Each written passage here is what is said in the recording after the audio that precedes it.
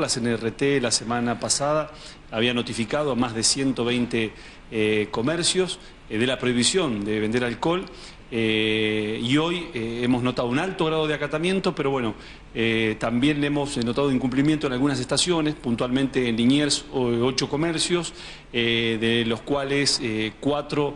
fueron clausurados y a cuatro se le decomisó la mercadería, en Morón 12 comercios clausurados y dos vendedores ambulantes y lo mismo en el caso de Merlo. Pero es importante eh, recalcar eh, que la intención eh, que lleva adelante esta medida, el fundamento, es precisamente generar un ambiente propicio, proteger al, pasajero, pero fundamentalmente evitar que haya hechos de violencia. Estamos llevando adelante un plan integral de obras en los ferrocarriles que tiene que ver con, con vías, con renovación de los coches, con el nuevo señalamiento, con la puesta en valor de las estaciones, con la presencia puntualmente en lo que hace de gendarmería y eh, en el ramal Mitre y en el ramal eh, Sarmiento. Y en este caso, vuelvo a repetirle, lo importante es eh, que se tome conciencia de que hay una prohibición de la venta de alcohol en todas las líneas ferroviarias. Así que en los próximos días seguramente estaremos constatando